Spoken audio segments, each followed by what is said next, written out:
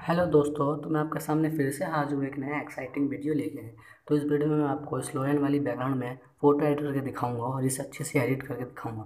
इसमें आपको सबसे पहले ऐड फ़ोटो पे क्लिक करना है। इस बैकग्राउंड की लिंक आपको डिस्क्रिप्शन बॉक्स में मिल जाएगी। करने के बाद यहाँ पर आपको अपना मॉडल ले लेना है। मॉडल लेने के बाद यहाँ पर आपको इसे अच्छे से बड़ा करके फिर इरेज कर लेना है। केवल गर्दन और फेस वाला पार्ट रहने देना है।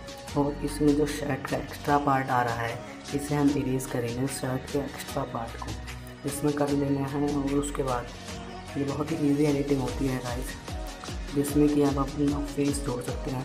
और हमारे चैनल को सब्सक्राइब करना ना भूलें, क्योंकि हमारे चैनल पर आपको इससे भी ईजी से एडिटिंग दिखेंगे। उसके बाद इसको अच्छे से इसको छोटा करके इसे गर्दन के अंदर फेस में मैच करना है।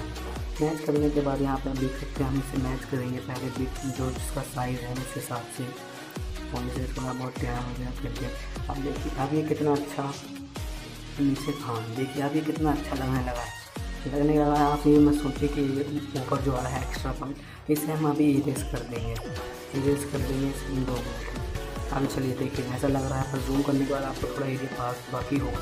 इसे हम ढकने के लिए डोर टूल में आने के बाद डोर टूल में आएँगे। उसके बाद यहाँ पर आपको नीचे कलर वाले बॉक्स पे क्लिक करना है। देन पेंसिल पे क्लिक करने के बाद। यहाँ पे आपको उसका कलर ले लेना है और इसको हम यहाँ पे इस पे, इस पेंसिल को यहाँ पे आपको चलाना है ब्रश को। देखिए, मैं चला रहा हूँ। अब देखिए कवर हो चुका है। दूर से अगर हम देखते हैं तो एकदम कवर हो चुका है।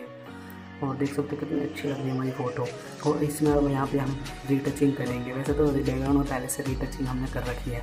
पर एक बार फिर से फ़ोटो को फेस को और हाथों को बॉडियों को मैच करने के लिए हमें करना पड़ेगा।